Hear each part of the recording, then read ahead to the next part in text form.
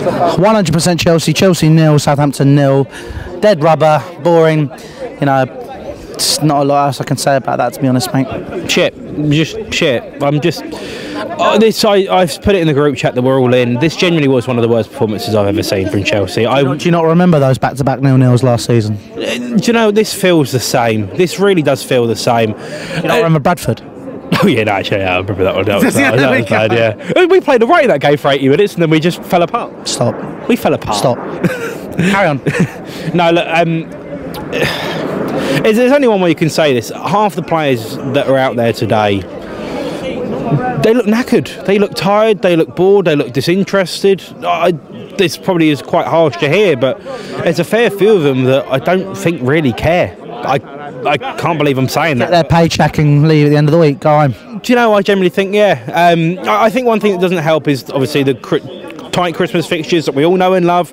It what makes it's what makes British football so good. I, I really enjoy it. So you're not going to shout for a winter break here, are you? No, no, no, no, no. I'm not about. What I am going to shout for is squad depth, because we've had way too many people being injured.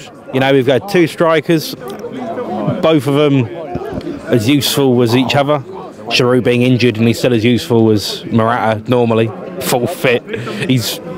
It's just, it really is boring, and I think the players are disinterested. Do you know, it's really weird. I get the kind of vibe that Sarri's like lost the dressing room already, which makes. I know it's a big statement, but you can't. I get. I get. No, no, no. Watch out for the keyboards. Oh no, I get the feeling. I get the feeling. I just don't know. I saw. I was sitting in East Lower today. I saw that there was a comment made between Dave and Sarri at the end of the game, where Dave's going, "I should be going in for this. I should be going out and trying to get my head on the corner," and Sarri went, "No."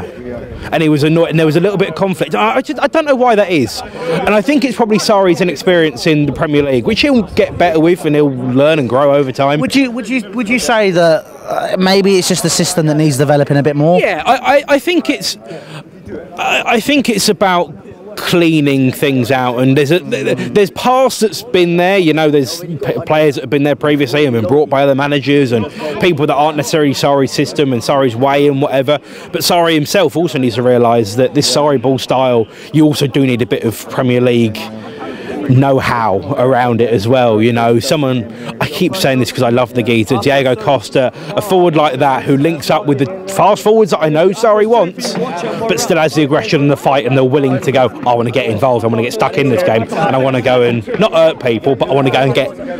I want to go and wind people up, and we haven't got that in a centre forward. We haven't got anyone in the team really that is anywhere like. So with it being the month of buying, being able to buy players, who do you want? Wilson. Careful, mates. You, so you and Scott are going to get absolutely slaughtered for saying Callum Wilson. I I agree. I'd like to see Callum Wilson maybe. Why? See if it see it go, comes in with my thinking as well. well, he's better than the other two. That's a start. Um, no, we need a goal scorer. We need a goal scorer, and unfortunately, well, fortunately for Bournemouth, he scores goals. He does score goals in a team that's not brilliant. I'm not gonna. We're not gonna sit here and go that they're the best this and the best that. They aren't brilliant, but they get goals, and a lot of them come through him. You'd like to think in the right system, when he played for England as well, the, min- the minimal game time he got, he still found a way to get his goal around decent players of a better calibre than what is at Bournemouth. I think he's a good option. He's English as well. He's English, uh, that counts, that's big. Not, not in a Brexit way, but just because it helps with the quota. no, it, it- it's very big. He's English. He's got experience in the Premier League and other football leagues as well. Because you need that experience in England. English football is very different to anywhere else in the world. Very, very different. Icardi's a name that keeps getting mentioned, and he was over here with his agent before Christmas and all this shit. He ain't going to come in Maybe he was just buying his own some presents because it was his missus. I think he went to Nike Town and just had a spree. You know, like uh, I feel, yeah, that's what I feel, yeah, that's what I'm saying. Like I don't think we should overthink it, but look, I, I'd like to see Icardi come to Chelsea. He ain't going to come this window. He no way he's going to come this window.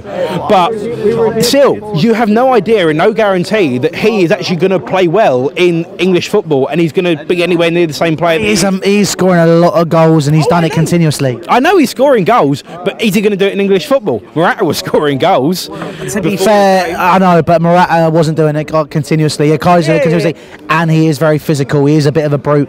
The the Oh, movement he makes as well. He's a sublime centre forward, quite frankly. Oh no, he's great. I love him. I want him at Chelsea, but he is not going to come this window. Oh yeah, obviously. I think that he is possibly a future star of Chelsea, actually. But the one problem we've got is we need to get European football. And to be honest with you, playing like that, I'm not sure we're going to get it. I hate to say that, but I'm not sure we're going to get it. We have to be very careful. We need someone in this window that can score goals because goals get you points, points get you in Europe. That's what happens. Thank you. you need. Was feeling a bit peaky. He was uh, over in the corner, but he seems much better now. just those, just, just no, just those little quips. That's staying in. I'm your boss. Do as you're told. Points make prizes. You are right, and the prize is European football and better players. We've just signed Pulisic. We need to continue that, and we need to we need, we need to rebuild the team. We do, unfortunately. It's that time. We do need to get fresh legs in. But the main thing we have to do is make sure we still have that big big, big, big pull of being an English club in the Premier League playing in Europe. Because no no fucker will ever want to come to us if we have not got that. I'm sorry, it's true. If you want that, you go and play for Man City or a handful of others. If you haven't got European football, you don't attract the big stars.